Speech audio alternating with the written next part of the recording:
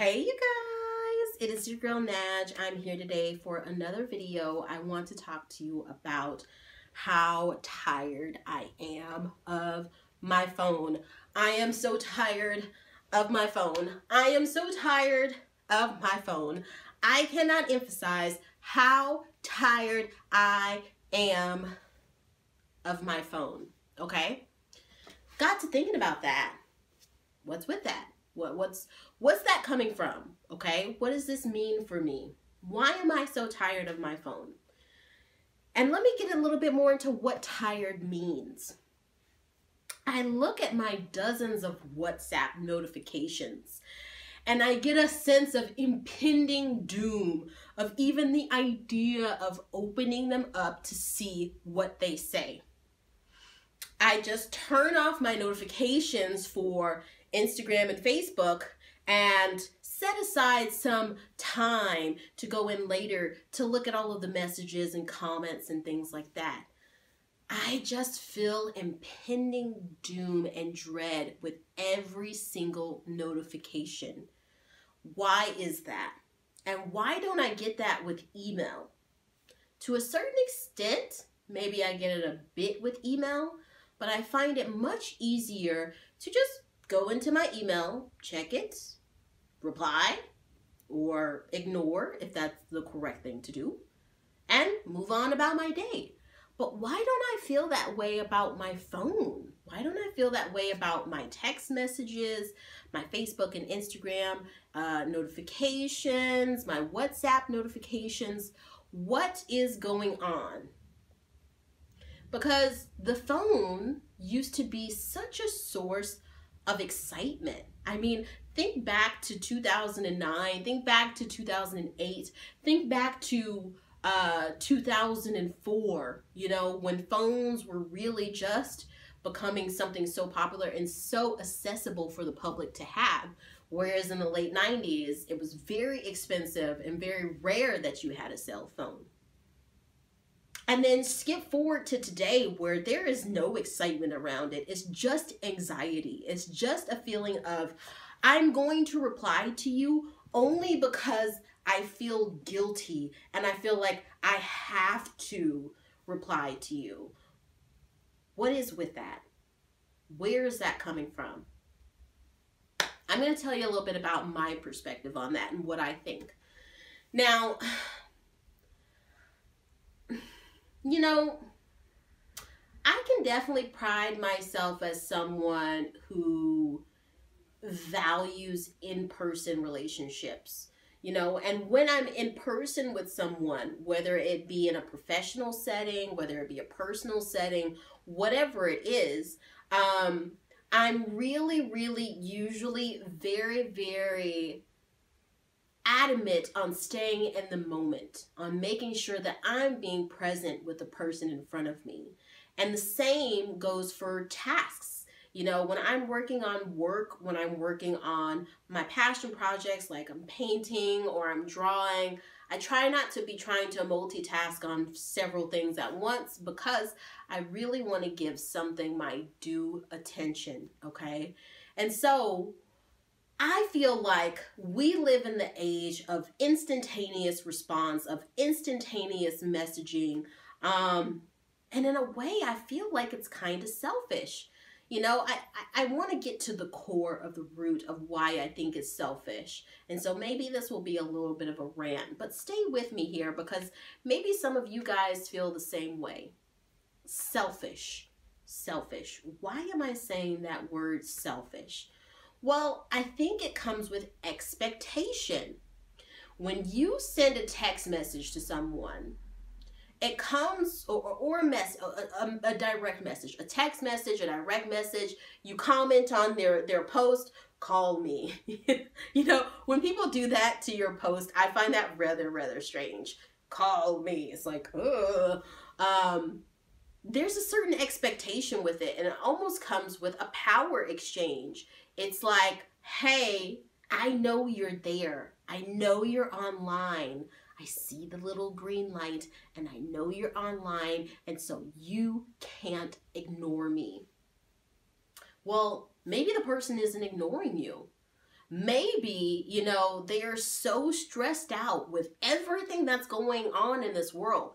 COVID, rampant racism and violence, you know, inflation, just trying to make end meets, uh, ends meet, just trying to fulfill your duties, uh, trying to be a good wife, mother, son, brother, employee, whatever it is, that they are just too busy melting into a little ball of anxiety to get back to you immediately.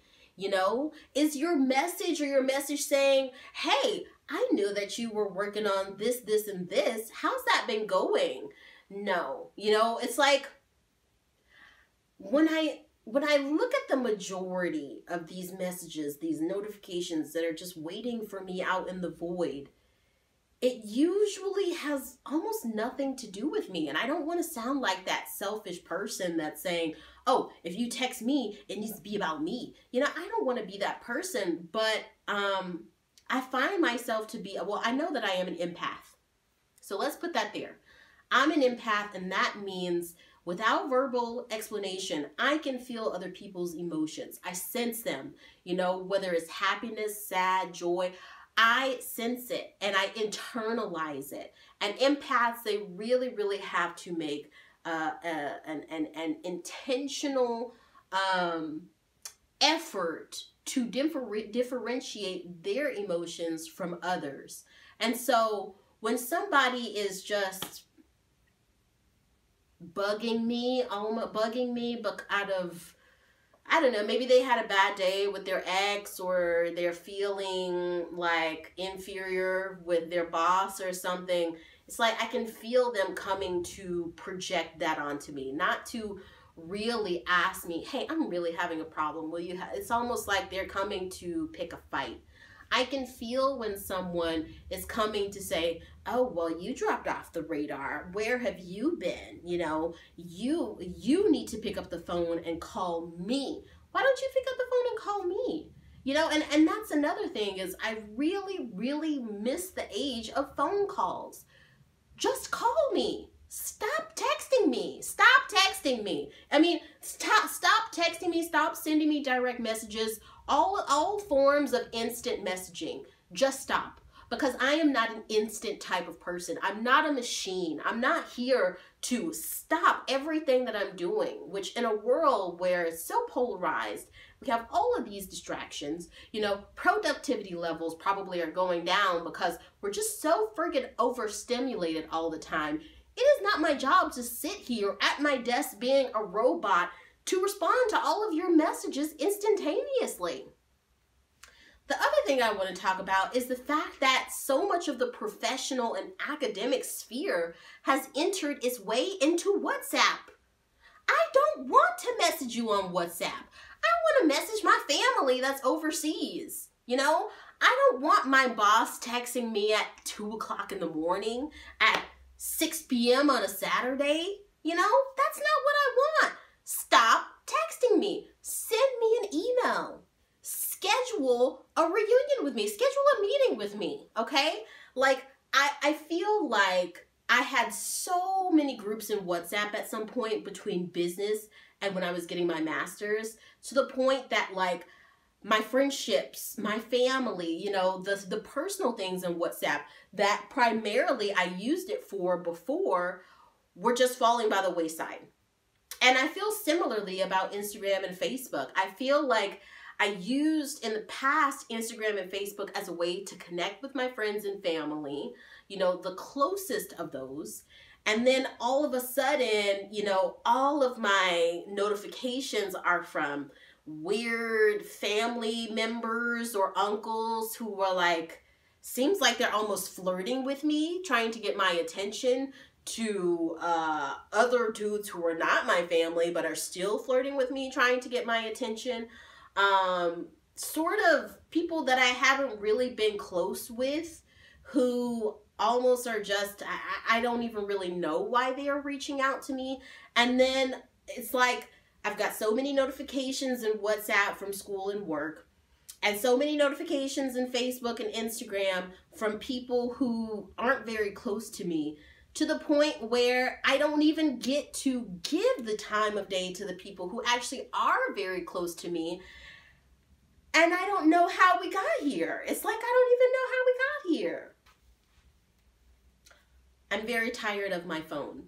At this point, I feel like it is causing more anxiety and stress for me than it's actually causing me advantages. And I'm trying to come to what the solution for that needs to be.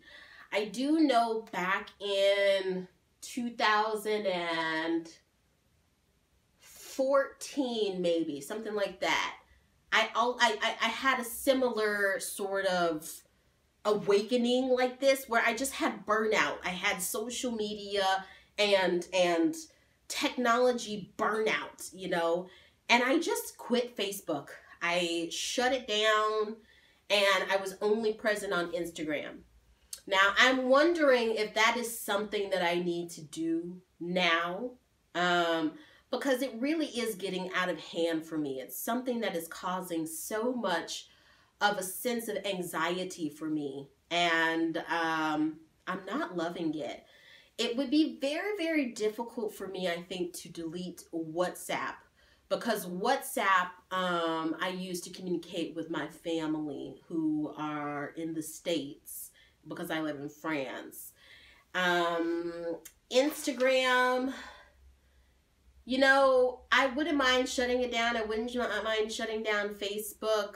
Um, you know, what, what I think, honestly, uh, what I think very, very honestly that I will do is put a post on both Instagram and Facebook saying that I am taking a small hiatus away from social media in order to focus on myself and my well-being and that I'll be back, almost pulling a Britney Spears, which I'm going to talk about Britney Spears in another video because it is very true, this idea of social media burnout. And I think it has to do with the fact that we abuse it. We really don't use it for our benefit anymore. We don't use it for a sense of enjoyment anymore. It's definitely something that we it's toxic the way that we use it. We rely on it. It's codependent and um, something needs to be done about it. So um, I'm very much thinking about doing this for maybe all of them, maybe for Facebook, Instagram,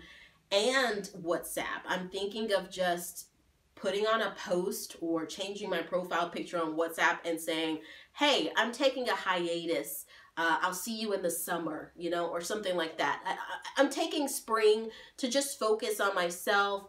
Uh, apologies for any inconvenience this may cause. If you need to reach me, you can reach out to me through phone, through my personal number, which you would have if you really do need me, or through email, um, you know, da da da, best of luck.